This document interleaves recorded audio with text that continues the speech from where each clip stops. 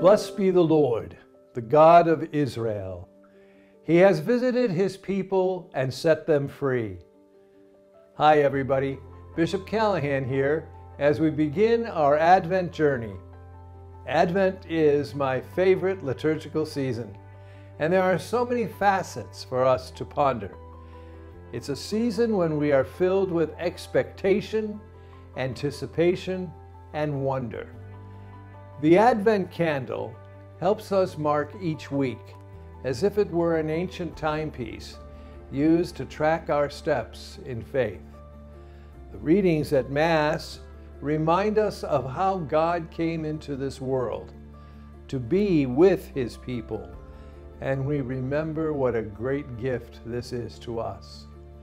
The Jesse tree is a visualization of the salvation history each day adding another image to help us follow the historical events leading up to the birth of Christ. It is fitting that we celebrate the Immaculate Conception of the Blessed Virgin Mary during Advent. Our Blessed Mother came into this world free from all stain of original sin. We are grateful for her yes following Jesus to enter into our reality and open up the doors to eternal life.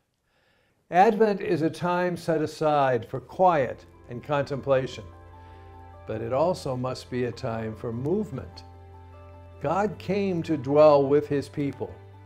Mary set off in haste when she heard her cousin Elizabeth had also conceived a son.